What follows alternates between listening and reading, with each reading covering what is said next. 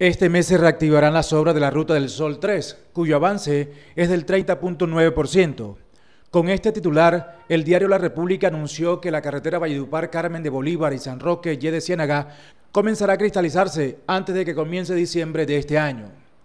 La obra fue paralizada en 2017 por inconvenientes económicos de la concesionaria Yuma, lo que generó fuertes reclamaciones de los contratistas que suministraban productos y servicios a la Ruta del Sol tramo 3. Según el periódico económico bogotano, el pasado martes fue radicado ante la Superintendencia de Sociedades por parte de la ANI y el Ministerio de Transporte el otro sí con el que se podrán reactivar las obras del tercer tramo de la Ruta del Sol. Ahora hay que esperar que transcurran 10 días hábiles para que la propuesta sea aceptada o rechazada por las supersociedades. El reporte que entrega el Estado colombiano sobre los avances de la ejecución de obras de la Ruta del Sol tramo 3 es del 30.9%, a fecha de 2017, cuando se paralizaron los trabajos.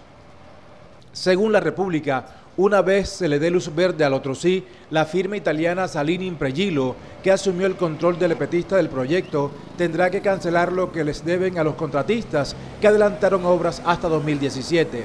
Son 128.500 millones de pesos los que les adeudan a unos 200 contratistas, quienes hasta el momento no han sido notificados de un posible reinicio de obra y de pago de sus dineros.